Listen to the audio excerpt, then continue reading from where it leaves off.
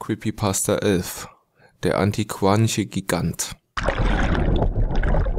Früher ging ich oft tauchen. Heute tauche ich zwar nicht mehr so oft, doch früher war ich dabei wirklich in mein Element.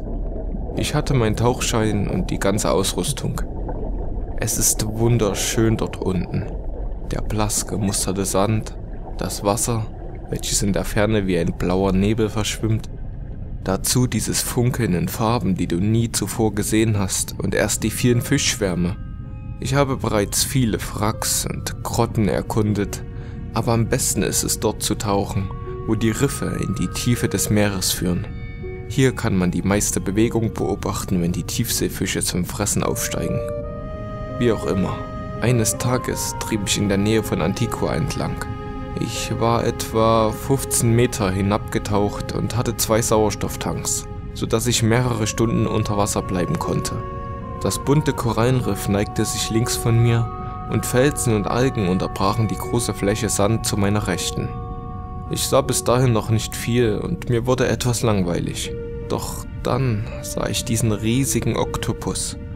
Es war einer der Tiefsee-Oktopusse, der vielleicht versehentlich von der Strömung hinaufgetrieben wurde.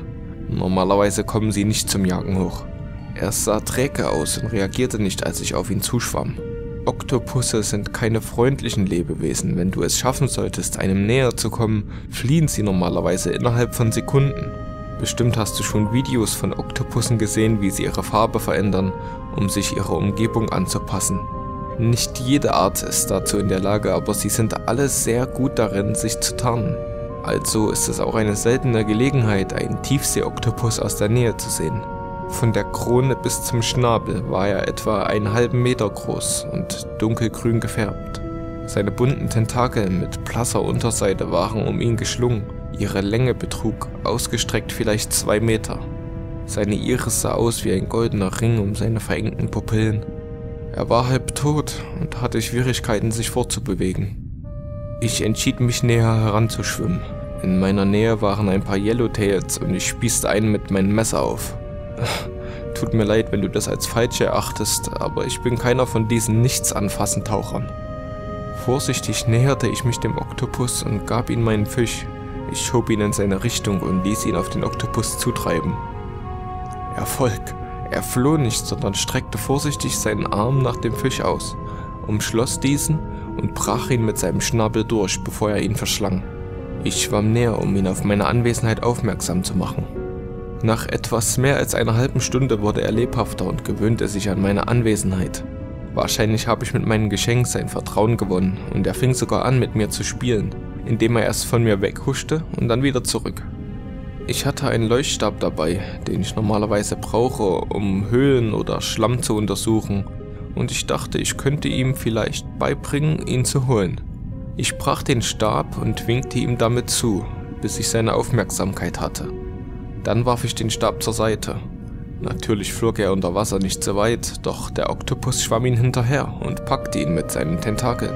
Es sah nicht so aus, als ob er zurückschwimmen würde, also ging ich näher ran. er winkte mir mit dem Stab und schleuderte ihn dann zur Seite. Er machte mich nach. Als ich den Stab wiederholte, kam mir eine interessante Idee. Neben uns war ein großer, flacher, mit Schlamm bedeckter Felsen. Vorsichtig, um den Belag nicht zu zerstören, nahm ich den Stab und zeichnete langsam eine grobe Figur eines Menschen. Zwei Arme, zwei Beine und einen runden Kopf aus einem einfachen Kreis. Der Oktopus schien alles mit Interesse zu beobachten. Ich warf ihm den Stab zu und er fing ihn mit Leichtigkeit auf. Er saß da und spielte damit. Für einen Moment dachte ich, meine Erwartungen waren zu hoch.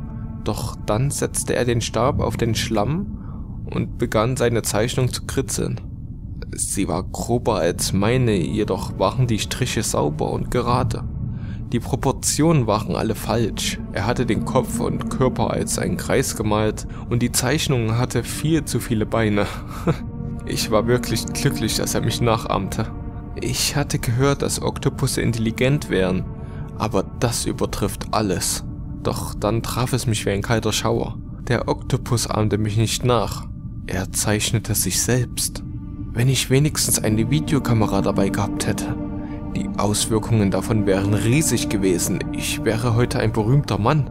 Das einzige Tier, was ich sonst kenne, welches imstande ist, Bilder von sich zu zeichnen, ist der Affe, der Verwandte der Menschen.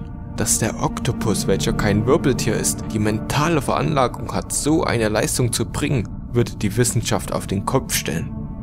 Dennoch, ich hatte keine Kamera und niemand der Wissenschaftler, denen ich von den Oktopus erzählt habe, hat mir geglaubt. Sie alle reagierten mit unverständlicher Skepsis. ich, ich würde meine gesamte Zeit damit verbringen, der Sache selbst auf den Grund zu gehen. Doch ich kann mich einfach nicht mehr dazu bringen, wieder tauchen zu gehen. Jedenfalls, als ich dies realisierte, wurde ich aufgeregt. Der Oktopus gab mir den Stab zurück und ich zeichnete grobe Figuren von anderen Seelebewesen. Wir setzten dies für etwa eine Stunde fort und der Oktopus trug genauso viele Zeichnungen bei wie ich.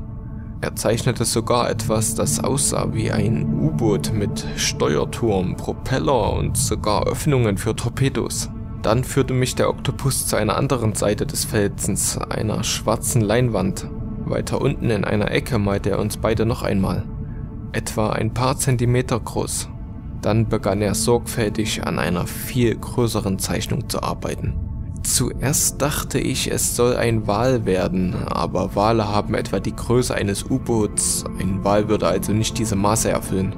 Zudem sahen die Proportionen alle falsch aus. Es war buckliger und stämmig und es hatte seltsame Dinge an seinem Körper, die nicht gerade nach Flossen aussahen. Ich konnte es nicht einordnen. Vielleicht eine Ölplattform? Nein, die Linien waren zu natürlich und ein Oktopus konnte nicht wissen, wie eine Ölplattform von oben aussieht. Als die Zeichnung fertig war, setzten wir beide uns und betrachteten sie für eine Weile. Ich nahm den Stab vom Oktopus und zeichnete erst einen Kreis um uns und zog dann eine Linie zu dem großen Ding. Ich bin mir nicht sicher, ob der Oktopus meine Verwirrung verstand, denn er saß nur da und wollte nicht einmal den Stab wiederhaben. Dann schwamm er weg. Ich folgte ihm eine Weile. Es war, als würde er sein Tempo an meines anpassen. Er wollte mich irgendwo hinführen. Dann drehte er um und schoss in die Tiefen hinter den Riff. Ich hatte nicht mehr viel Sauerstoff und ich konnte nicht noch tiefer gehen. Also musste ich ihn gehen lassen. Er stoppte kurz, sah mich an und huschte weiter, während er langsam im tiefen Blau verschwand. Ein paar Minuten starrte ich ihm noch hinterher, um zu sehen, ob er wiederkommen würde, doch da war nichts. Ich sah mir noch die anderen Fische an und machte mich langsam auf den Weg zurück zum Boot. Dann plötzlich hörte ich ein tiefes, alles durchdringendes Geräusch überall um mich herum. Es war nicht wirklich laut, eher riesig, als käme es vom Meeresgrund selbst. Ich habe schon von Unterwassereruption gehört, aber ich habe nie eine miterlebt und fragte mich, ob es jetzt geschah. Doch das hörte sich nicht wie etwas Natürliches an. Es hörte sich an wie der Ruf eines Tieres, verlangsamt auf eine tiefe, dröhnende Frequenz und verstärkt von tausenden Lautsprechern sehr weit weg. Ich hatte an diesem Tag die Gelegenheit, einen Blick auf den Seismographen zu werfen, doch es war nichts auf dieser Frequenz zu sehen. Ich weiß wirklich nicht warum. Die Fische wurden aufgescheucht und jagten in die schützenden Korallenriffe. Und nicht nur die Rifffische, sondern auch die viel größeren Fische vom offenen Meer schwammen sehr viel schneller an mir vorbei. Zwischen ihnen kam auch der Oktopus wieder, er oder einer seiner Art. Er schwamm zu mir und sah mich ernst an, wenn man es so bezeichnen kann. Dann schwamm er auch mit den anderen Fischen weg. Das Geräusch erklang wieder. Ich in die Tiefe blickte, bemerkte ich allmählich einen großen, schwarzen Fleck. Es war sehr schwer zu sagen, wie groß oder weit weg er war, doch es war genug von beiden, um auf der Stelle kehrt zu machen. Es war mehr als nur ein Schatten im trüben Wasser, aber es war kein Wal oder irgendetwas von Menschenhand. Ich konnte nicht einmal sagen, ob es nur eine Kreatur war. Es sah so aus, als strömten lange Fäden aus ihm heraus, etwas wie Seetank oder Quallententakeln, allerdings viel größer. Es war wie ein uraltes, missgebildetes Stück eines Korallenriffs, welches abbrach und hinausschwamm. Zumindest den Teil, den ich sehen konnte, der Rest schien in den Tiefen zu verblassen. So als ob das riesige Ding, was ich sah, nur der Arm einer viel größeren Kreatur war. Ich habe noch nie einen Flugzeugträger von unten gesehen, aber ich denke, so ähnlich würde sein Schatten aussehen. Dieses dröhnende Geräusch erklang ein drittes Mal. Eine unbegründete Furcht überkam mich. Ich war nicht in Gefahr, es sei denn, das Ding ist schneller als alles, was ich je gesehen hatte. Es war einfach zu weit weg, um mich schnell genug erreichen zu können. Und es sah nicht mal aus, als würde es in diese Untiefen passen. Trotzdem überkam mich das Gefühl, dass wenn ich nicht so schnell ich konnte wegschwimmen würde, gepackt und in die Tiefen gezogen werden würde, um dann von dieser Kreatur verschlungen zu werden. Ich konnte fühlen, wie mich das Wasser selbst hinunter den schwarzen Schlund zog.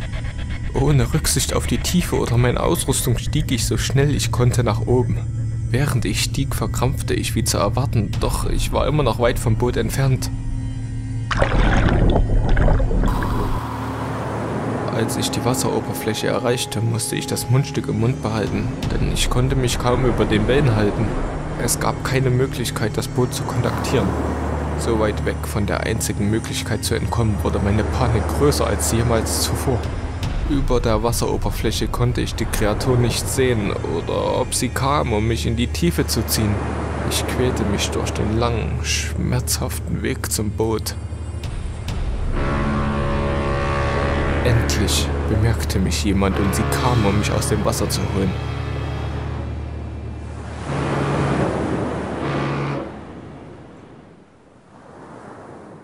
Ich hatte Benz, eine Taucherkrankheit, die durch zu schnelle Druckentlastung hervorgerufen wird. Ich musste ein paar Wochen im Krankenhaus bleiben, bis ich mich erholte. Der Arzt sagte, es sei ein Wunder, dass ich keine bleibenden Schäden davon getragen habe. Das war meine Geschichte. Tut mir leid, dass ich keine ausführlichen Informationen geben kann. Ich weiß selbst noch nicht, was ich da erlebt habe. Meine Freunde dachten, es sei bloß Einbildung gewesen, aber Narkose lässt das Gedächtnis nur kurzzeitig schwächer werden. Es wird dabei nicht verändert. Und wenn es Halluzinationen wären, dann waren sie zu lebhaft, um meinem Verstand entsprungen zu sein. Naja, seit dem Vorfall habe ich Angst vor Wasser. Ich versuchte das ein oder andere Mal wieder rauszufahren, doch das Einzige, was ich tun konnte, war zitternd auf dem Boot zu sitzen. Ich glaube, da draußen war wirklich etwas. Etwas, dem ich nicht noch einmal begegnen möchte.